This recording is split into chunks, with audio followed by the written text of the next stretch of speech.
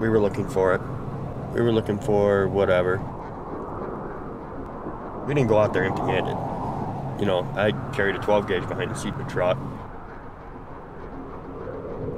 Something always happened.